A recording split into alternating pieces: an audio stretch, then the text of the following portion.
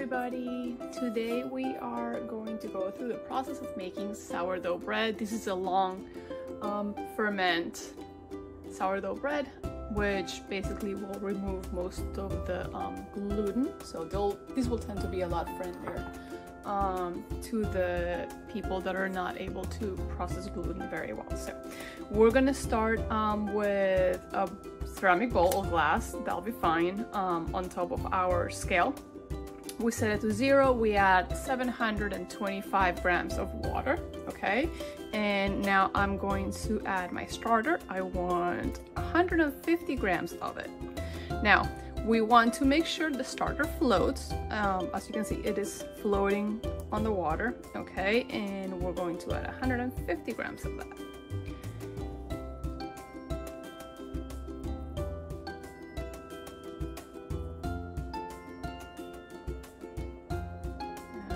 in there.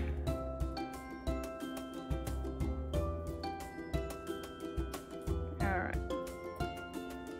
Just a little more. Okay. All right, so that is 150. So we're gonna whisk it.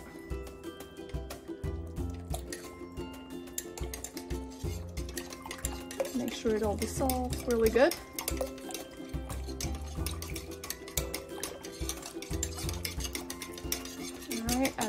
Point we'll just set our scale back to zero and we will start adding our flours. we're gonna start with um, whole wheat flour uh, and we're gonna add 200 grams of that okay so let's see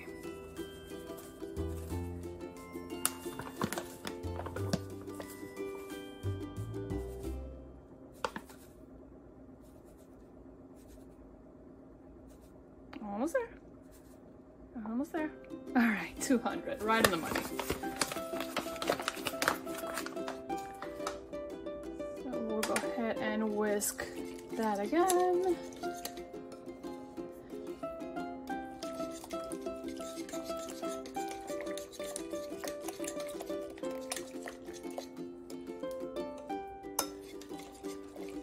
Make sure it dissolves pretty well No clumps.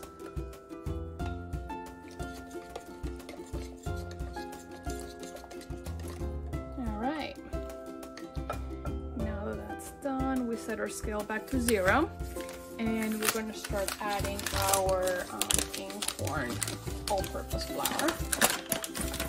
We're going to start with 300 grams, okay? We'll dissolve that and then we'll add some more. So let's see. i am at 277 just missing a little bit.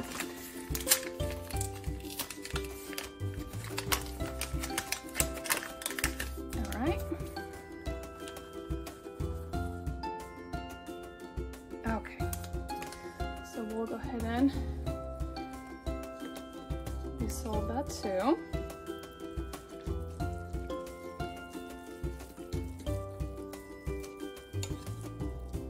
And if at this point you see a couple clumps, it's not a big deal. We're going to um, mix it really good with our hands in just a minute, okay?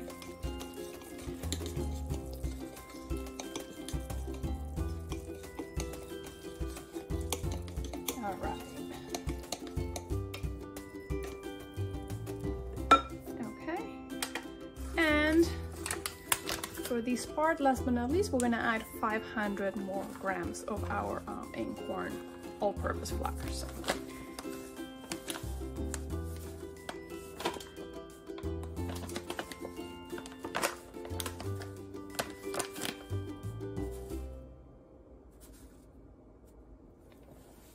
All right, got 503, 502.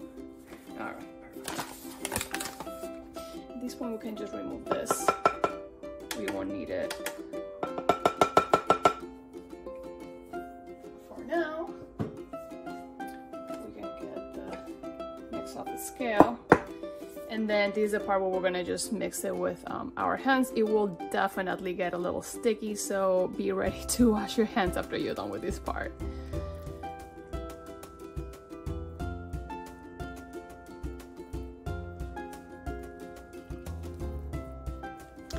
Now I tend to do this process um, about once a week, sometimes every two weeks if I still have um, a loaf in the freezer. And um, the kids love it. My husband obviously, uh, this is basically all the, all the bread he eats. So, and the process is long, but it's kind of therapeutic. I don't, I don't really mind it if you guys are going to be making this bread, um, especially with the long fermentation, just make sure that it is um, a day that you are not going to be going to work or don't start the process too, too late, like at nine o'clock at night, because you will not be done um, for the next six hours or so. All right, so yeah. I learned that one the hard way. the First time I made this uh, this bread, I ended up going to bed I think at two in the morning right so make sure that all the flour is incorporated.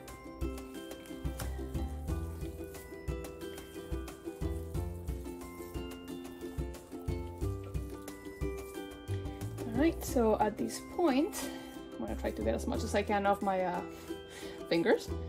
And then we're gonna cover it and we're gonna let it sit for 30 minutes. Okay we're gonna let it autolyze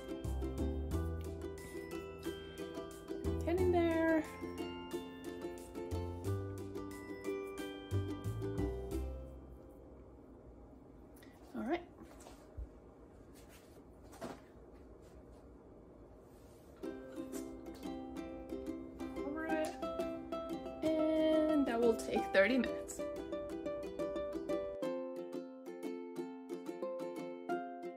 Okay, so once we let it sit for 30 minutes, okay, we're gonna put it back on scale.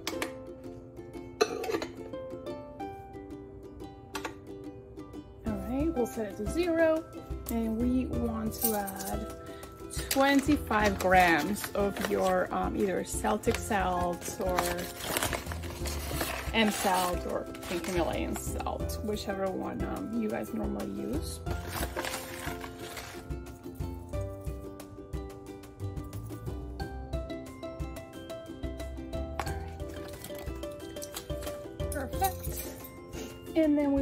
Add um, 50 grams of water.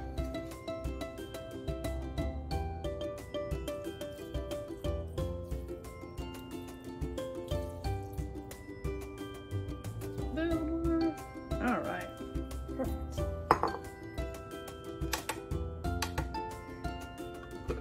Now we can put our scale aside because we will not be using it anymore and get to mixing. It will not be as sticky as it was originally because of the water, okay? So we just give it a few folds, make sure the water is fully integrated.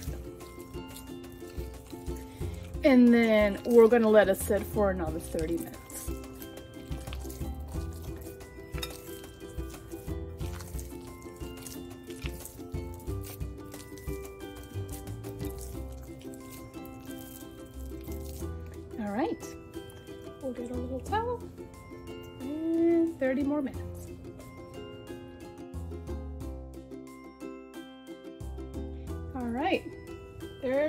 Later, as you guys can see, this is all a waiting game.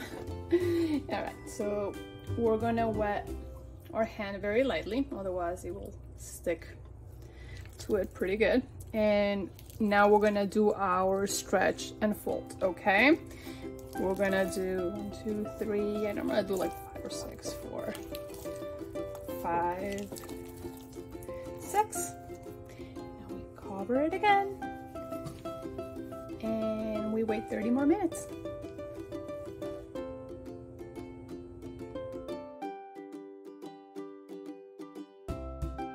Alright guys, we are back for fold stretch and fold number two. So this is gonna be a series of four stretch and folds. We did the first one, this is the second one, and you wet your hand again. Um, this is actually where you will incorporate anything that you wanna add to your bread. Um, like if you like rosemary, you can add rosemary, you can add cinnamon, um, you can add cheese, make cheese bread. So the second fold is where you um, will actually add any of those ingredients, okay? And then we do our stretch and fold again. And guess what comes next? yep. We cover it up and we wait 30 more minutes. Alright, now we're ready for our third stretch and fold. Same thing as the other ones. We do not add anything. Now, we stretch it, we fold it, we cover it, and we wait 30 more minutes.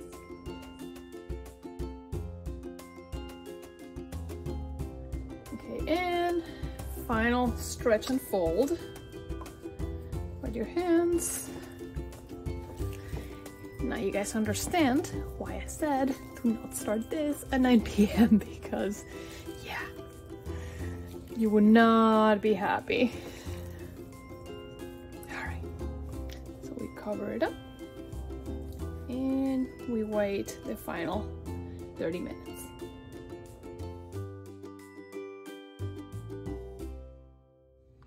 All right, so for this part, I got the counter dusted. Make sure it's really nice and clean. And uh, we will be needing our little handy dandy bench scrape, okay? So we got our sourdough. I'm gonna wet my hand a little bit because this part is very sticky.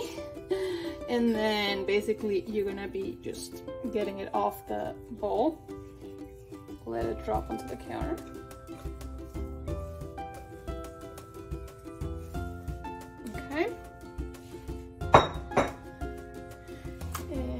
Going to wet our bench scraper a little bit, otherwise it kind of sticks. So we're gonna break it into two.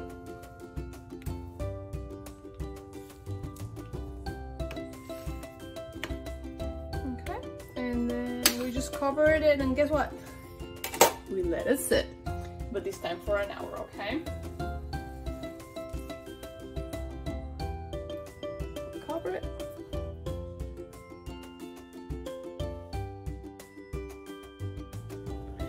Right, now for the last part that we're actually going to do before we put it in the fridge, um, you guys are gonna need a couple brotforms, okay? These are baskets that have basically uh, a lining and we're gonna sprinkle them with, uh, dust them with flour. Same thing with the other one, I have two. Okay. There is our babies. Gonna wet the bench knife again. And now for this part, basically we're just gonna do a couple of um, folds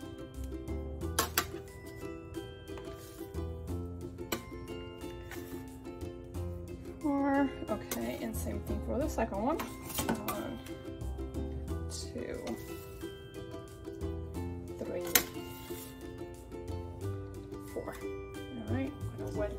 little bit and we're gonna put them in the baskets basically um, upside down. That's one. And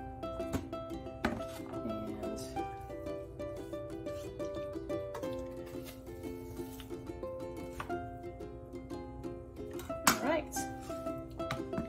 Now we're gonna let them sit covered for one more hour and then we're gonna put them in the fridge for about um, 36 hours. And that's it.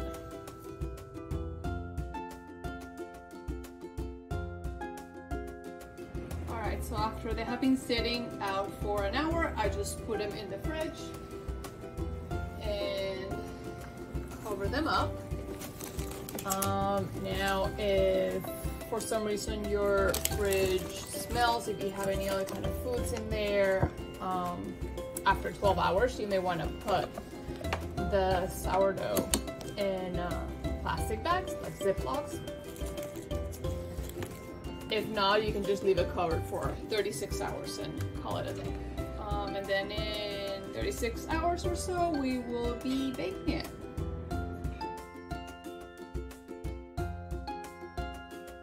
Guys, so it has been 36 hours and I'm going to turn my sourdough upside down onto this flour um, parchment paper.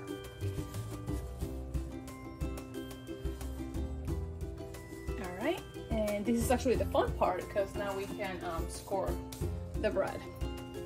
We want to make somewhat of a big um,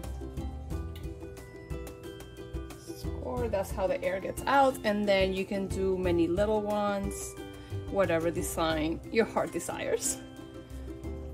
I'm just gonna keep it simple right now.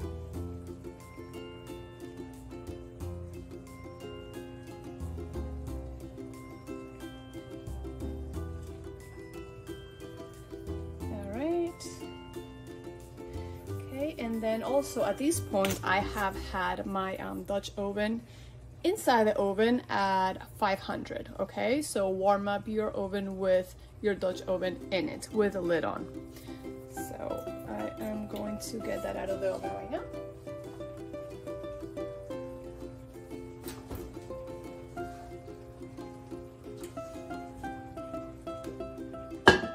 Okay be careful it's extremely hot okay?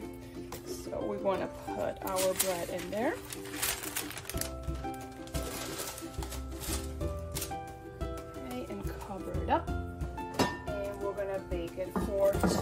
20 minutes covered at 500.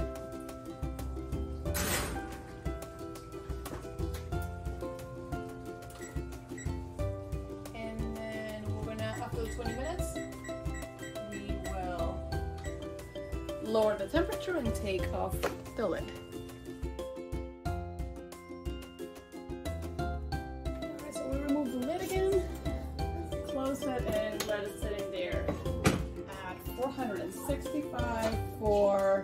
18 minutes. All right, so it's been 18 minutes. My oven just beeped and I'm going to take the bread very carefully out of the pot. Try not to touch the pot, it is extremely hot and I'm gonna let it rest for at least 30 minutes um, and then at this point I'm gonna put the lid back on the pot and I'm gonna put it back in the oven at 500 so I can bake my second loaf.